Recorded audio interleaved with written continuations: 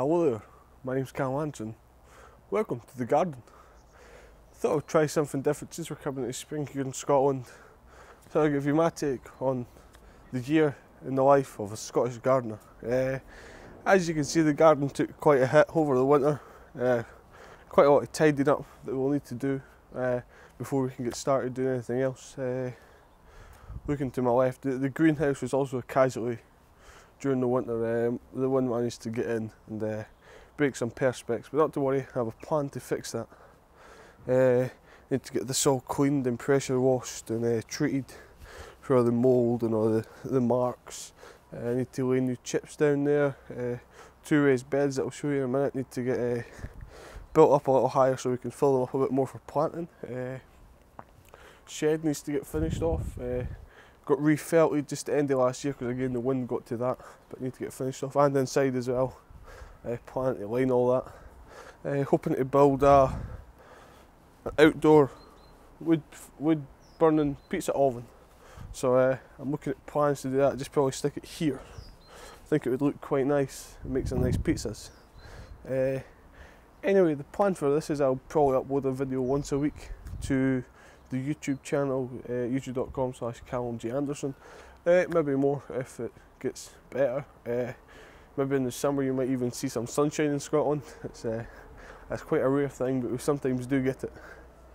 Uh, so I'll give you a quick tour of the garden. Uh, this is the main patio area uh, where we sit out in the summer. We've got a gazebo as well, just a temporary one that we put up if the sun's quite warm. But it gets that a couple of days a year. Down there, there's usually a bench sitting down there, but the bench was casually uh, to some rotting, so we had to get rid of that. But the plans to replace the bench down there.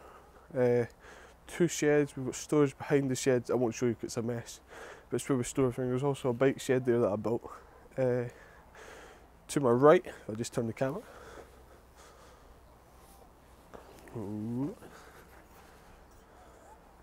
So this side we have uh, two fruit planters that I built. We have an apple tree and a pear tree, and we have the wood to finish off the hut, and some glass to do the uh, pizza oven. Lovely bird's nest. We get some blue tits during summer.